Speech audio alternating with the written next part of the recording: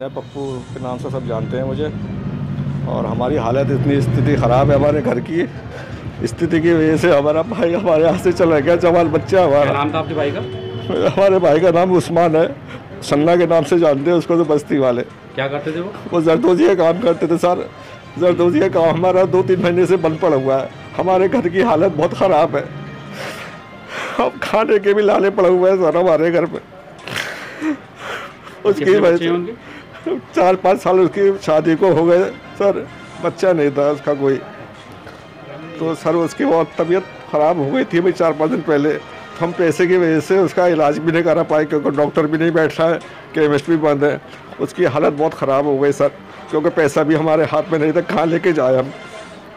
तो सर, बस हमारे हालत बहुत ख़राब है, इस टाइम पे हमारी बस हम तो पूछना है आपके नहीं। कि आपके कोई इंतज़ाम खाने वगैरह के लिए? नहीं सर हमारे पास अभी तक कोई नहीं आया। हमारी हालत बहुत ख़राब है सर। तो आप क्या चाहते हैं क्या इंतज़ाम किया जाए आपके लिए? हमें सरकार से बस थोड़ी प्रशासन से हमें कुछ मदद मिल जाए सर। हमारी हालत बहुत ख़राब है हम किराए के मकान में रहते हैं सर। कितने लोग हैं आप इस परिवार में? सर हम पाँच छः लोग हैं। पाँच छः लोग हैं। जी हाँ। तो मतलब ये कि बस बहुत हालत ख़राब है हमारे घर की। टोटल मेंबर कितने घर में? आठ आठ लोग हैं करीब बच्चे बच्चे मिला करके करीब।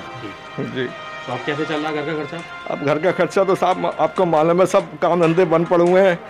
काम पे कोई जाने नहीं रहा है। और किराए का मकान है सर। अभी की क्या पोजिशन है आज की तारीख? आज की तारीख की ये पोजिशन है साहब घर में बैठे हुए हैं। बस अल्लाह ही मालिक है हमारा। सुबह की खबर नहीं। हुआ आपके लिए थोड़ा अभी अभी कुछ नहीं हुआ सर सुबह कुछ बिल्कुल। सुबह से ही मतलब बैठे हुए हैं घर के अंदर सर। हमारा कोई इंतज़ाम नहीं बस अल्लाह ही है हमारा तो बस अल्लाह ही मदद करेगा जो भी करेगा।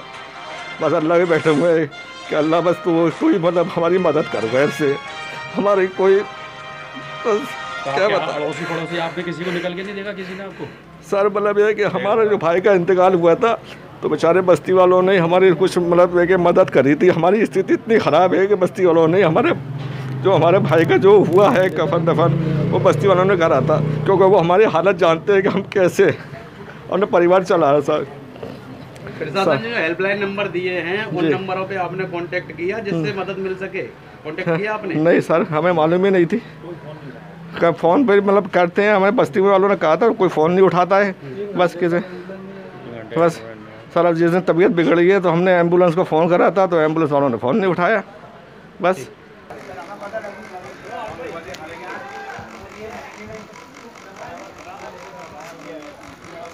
ना? नाम लिख दो। जनवाद टाइम्स की सभी खबरों को लगातार देखने के लिए चैनल को लाइक सब्सक्राइब और शेयर ज़रूर करें। धन्यवाद।